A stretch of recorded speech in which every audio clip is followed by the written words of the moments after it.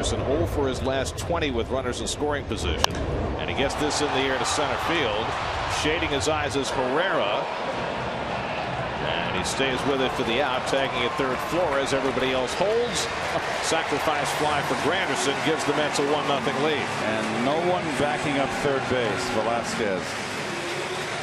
That's a Ronnie Darling uh, pet peeve. And